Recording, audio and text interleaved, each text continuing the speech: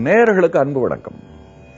அனுஷத்தின் அனுகிரகம் நிகழ்ச்சியில இன்றைக்கு ஒரு தொழில் அதிபர் அவருக்கு நேரிட்ட சிக்கல்.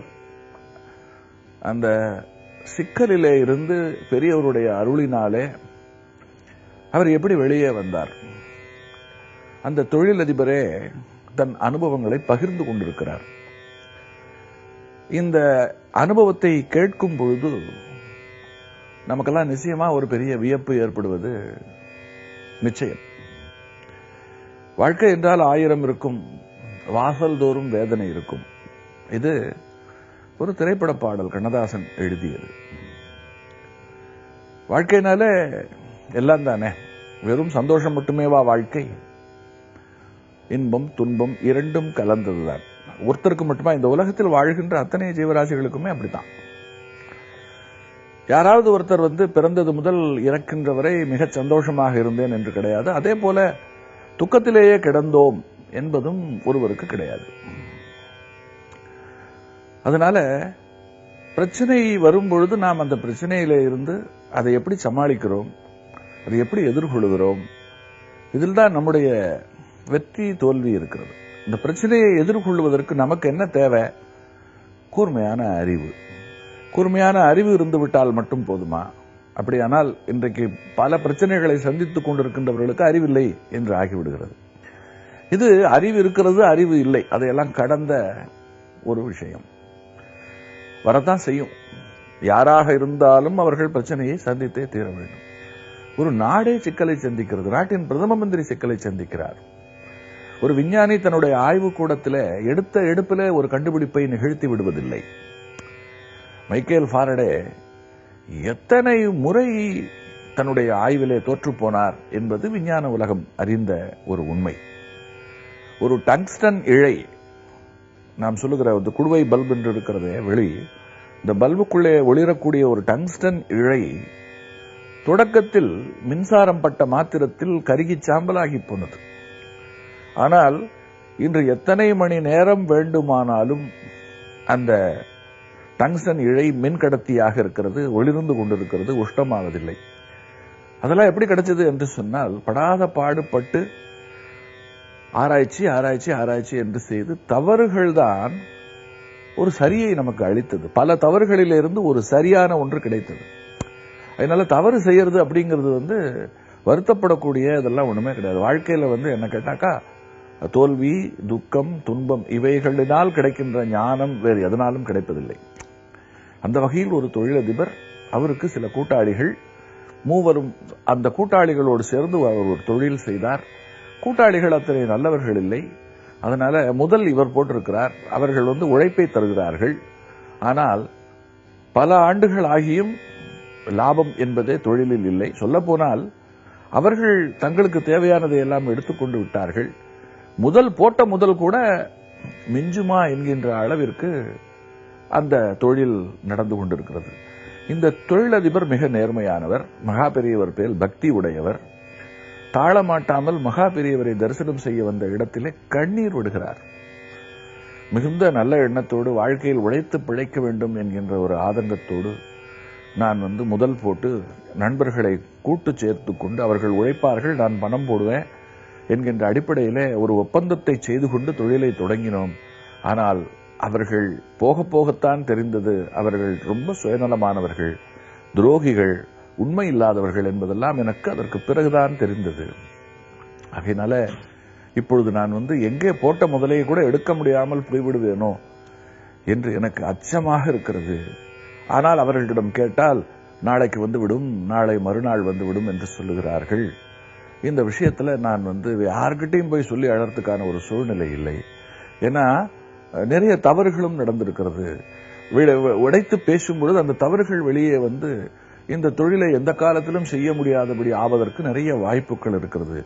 அதனால ஊமை கனவு கண்டால் எப்படி அதை வெளியே சொல்ல முடியாமல் தவிப்பானோ அது போன்ற ஒரு தவிப்பிலே நான் இருக்கிறேன் என்று பெரியவரிடம் சொல்லி அழுதார்.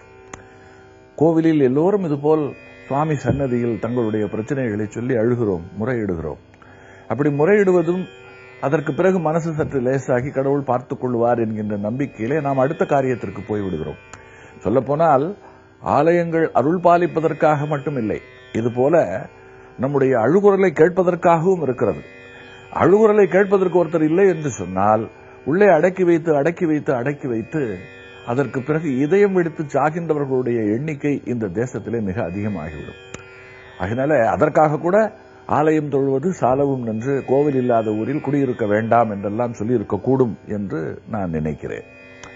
இங்கே இப்பொழுது இவர் பெரியவரிடம் எழுதுவிட்டார் பெரியவர் அந்த இடத்துல அவருக்கு என்ன சொன்னார் தெரியுமா? எல்லாம் ஒரு வாரத்துல சரியா போயிடும் போ என்று சொன்னார். வெளியில வந்த இவருக்கு ஒரே ஆச்சரியம். இது காலம் காலமாக இருக்கிற பிரச்சனை. ஒரு வாரத்துல எப்படி சரியாகும்? பெரியவர் சொன்னால் அது பெரிய வாக்கு. பெருமாள் சொன்னது போல. எப்படி சரியாகும்னு தெரியலையே. என்றே அவர் அன்றைக்கு அலுவலகத்திற்கு வந்தால் அந்த இரண்டு கூட்டாளிகளும் எங்கோ வெளியிலே புறப்பட்டு கொண்டிருந்தார்கள். இவர் வந்தவுடனே அவர்கள் முக்கியமான கையெழுத்துக்களை எல்லாம் முதலாளி என்கின்ற வகையில் நீதான் போட வேண்டும். அதனால் அவைகளையெல்லாம் நீ போட்டு அனுப்பிவிடு. நாங்கள் முக்கியமான ஒரு வேலையாக வெளியிலே போகிறோம். நாங்கள் வந்து விடுகிறோம் என்று சொல்லிவிட்டு அவர்கள் போய்விட்டார்கள். அவர்கள் போன பிறகு தன் முன்னாலே இருக்கக்கூடிய தாஸ்தாவேஜிகளை எல்லாம் பார்த்து கையெழுத்திட்டு வேலையை பார்த்து கொண்டிருக்கும் பொழுது மூன்று செக் புத்தகங்கள். அந்த மூன்று செக் புத்தகங்களிலே பல செக்கிலே இவர் கையெழுத்து இட வேண்டும்.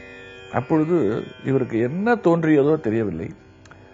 அந்த மூன்று செக் புத்தகங்களிலே இருந்து அதில் வந்து அந்த இரண்டு பார்ட்னர்கள் இருக்கிறார்களே அவரோடு சேர்ந்து கூட்டுறவு வைத்துக்கொண்டு தொழில் செய்கிறார்கள் அல்லவா?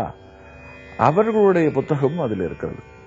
இவருக்கு என்ன தோணித்தோ தெரியல அதிலிருந்து ஒரு பிளாங்க் செக் மூன்று செக்கை கிழித்து எடுத்துக்கொண்டு அதில் தான் அதுவரையில் போட்ட அந்த இதற்காக போட்டிருக்கிற அந்த பணம் இருக்கிறதே அந்த பணத்தை எழுதி அவர் வந்து அதை வந்து பேங்க்ல போட்டுவிட்டார்.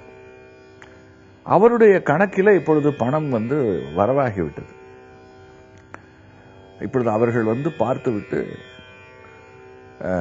தாங்கள் எடுத்து வைத்திருந்த அந்த தொகை திரும்பவும் அவருடைய அக்கௌண்ட்டுக்கே போனதை நினைத்து மிகவும் வருத்தப்பட்டு சத்தம் போட்டு பேசுகிறார்கள். எப்படி இப்படி செய்யலாம் என்று. அப்பொழுது அவர் கணக்கு கேட்கிறார். எனக்கு கணக்கு சொல்லு முறையாக கணக்கு சொல்லிவிட்டு நீ இந்த பணத்தை திரும்ப பெற்றுக்கொள் என்று சொன்னால் திரு திரு என்று விழிக்கிறார்கள். ஏன்னா அவர்கள் தவறு செய்திருக்கிறார்கள். அதனால அவர்களால வெளியில போய் சொல்ல முடியல. போலீஸில் போய் புகார் கொடுக்க முடியவில்லை. யார்கிட்டையும் பேச முடியல. இப்பொழுது இவர்கள் அந்த ஊமை கனவு கண்டது போல இவர்கள் சிக்கிக் கொண்டு விட்டார்கள். அவர்கள் அதை சற்றும் எதிர்பார்க்கல. அதாவது தங்களுடைய செக் புக்கில் இருக்கக்கூடிய கையெழுத்திட்ட லீஃபை எடுத்து பணத்தை எழுதி இவர் எடுத்துக் கொள்ளுவார். அவ்வளவுக்கு இவர் புத்திசாலி. அப்படி ஒரு எண்ணம் இவருக்கு தோன்றும் என்றெல்லாம் அவர்கள் சுத்தமா கொஞ்சம் கூட எதிர்பார்க்கவே இல்லை. ஒரு பத்து நாட்கள் கழித்து ரொம்ப சந்தோஷமா பெரியவரை தரிசனம் செய்ய வருகிறார். ஒரு வாரத்தில் தீர்ந்துடும் சொன்னார். ஒரு வாரத்தில் தீர்ந்து விட்டது. போட்ட பணம் கைக்கு வந்தாச்சு. இனி அவர்களோடு சேர்ந்து கூட்டுறவோடு எந்த தொழிலும் செய்வதில்லை என்கின்ற முடிவுக்கும் வந்து விட்டார். பெரியவரிடம் தீர்த்தம் பெறும் பொழுது இந்த பிரச்சனையை எனக்கு தீர்ந்து விட்டது நீங்கள் சொன்னது போல ஒரு வாரத்தில் தீர்ந்து விட்டது பொறிதட்டினது போல் ஒரு எண்ணம். அந்த எண்ணத்தை செயல்படுத்தி என் பணத்தை நான் எடுத்துக்கொண்டு விட்டேன். ஒரு கோணத்தில் நான் செய்தது தவறு. ஆனால் இன்னொரு கோணத்தில் எனக்கு வேறு வழி இல்லை என்று பெரியவர்கிட்ட சொல்லலாம் என்று நினைத்து கொண்டிருக்கும் பொழுதே பெரியவர் சொன்னார். என்ன? ஒவ்வொரு செக் புக்கில் இருந்து ஒரு லீஃப் எடுத்துட்ட போல் இருக்கு. எடுத்து உன் பணத்தை நீ காப்பாத்தின்னுட்ட போல் இருக்கு. என்று பெரியோர் சொன்ன மாத்திரத்தில் அப்படியே இவருக்கு பொறி தட்டியது பொறி கலங்கியது. அருகிலே இருந்து பார்த்தது போல பேசுகிறாரே. அன்று அவருக்குள்ளே ஒரு பெரிய வியப்பு. அதற்கு பிறகு சொன்னார் நல்ல பணம் நம்மை விட்டு போகாது. கள்ளப்பணம் என்று சொன்னால் எவ்வளவு தடுத்தாலும் நிற்காது. அதனால பணத்தின் மேல் பெரிய பற்று வைக்காமல் இனியாவது நல்ல விதமாக நல்லவர்களோடு சேர்ந்து நன்கு உழைத்து வாழ்க்கையில் முன்னுக்கு வருவதற்கு பார் என்று ஆசீர்வதித்தார். அந்த ஆசீர்வாதத்தை அவர் விலை மதிப்பில்லாத ஒரு பெரிய ஆசீர்வாதமாக கருதினார். லட்சக்கணக்கான பேர் தங்களுடைய வாழ்நாளிலே மகா பெரியவரை தரிசனம் செய்திருக்கிறார்கள். ஒவ்வொருவருக்கும் ஒவ்வொரு விதமான அனுபவம். அதுல இன்றைக்கு நான் சொன்னது ஒரு சிறு அனுபவம். இருந்தாலும் இந்த அனுபவம் குரு என்று ஒருவர் நமக்கு கிடைத்து விட்டால் அவர் நம்முடைய துன்பங்களை தீர்த்து விடுவார் நம்மை கண்காணித்து நம்மை பார்த்துக் கொள்வார் என்கின்ற ஒரு செய்தி இதுக்குள்ள இருக்கிறது அல்லவா? அதற்காக இந்த சம்பவத்தை இன்றைக்கு நான் சொன்னேன். தொடர்ந்து சிந்தி காஞ்சி நகர் உரையும் காமகோட்டி குருவே காமகோட்டி குருவே காமகோட்டி